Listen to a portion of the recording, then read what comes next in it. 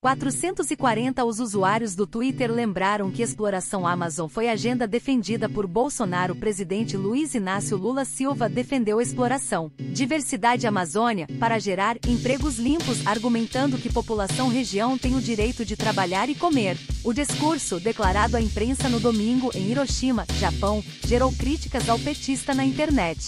Na Amazônia vive 28 milhões de pessoas. E essas pessoas têm o direito de trabalhar, comem, nas redes sociais, os comentários se revezam entre críticas e ironias. Saia de Ricardo Salles falso, disse um usuário no Twitter. Agora pode explorar a Amazon, pois é com amor, disse outro. Ele exclamou. É exatamente isso que o antigo ministro Salesma estava falando sobre a reunião ministerial do governo passado, quando ele mencionou gado para combater a regra ambiental excessiva em nossa lei. Nesse contexto, presidente, você está errado, deve conversar mais com Marina Silva Sônia Guajajara.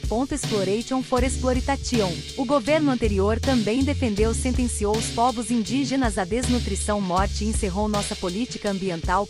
E o tio 1014 adine 22 de maio de 2023 por outro lado, outras pessoas afirmam que o presidente está errado e deve conversar com o ministro do Meio Ambiente, Marina Silva, e os povos indígenas, Sônia Guajajara. Exploração para exploração, o governo anterior também defendeu e sentenciou os indígenas à desnutrição é morte e encerrou nossa política ambiental, disse um usuário no Twitter. Ibama X Petrobras O discurso Lula ocorre depois que o Instituto Brasileiro Meio Ambiente e Recursos Naturais Renováveis, ligado Massas Ambientais, veta um pedido Petrobras para fazer um estudo estudo a 179 quilômetros da costa Amapá, no Foz do Basin River Amazonas Quinta-feira passada, ponto, a Companhia do Petróleo deseja verificar existência petróleo na área, que já foi chamada Novo Presel. O presidente disse que também não vê nenhum problema com a exploração na boca do rio, como o projeto estaria em alto mar, mas só falará sobre o assunto quando ele estiver de volta ao Brasil.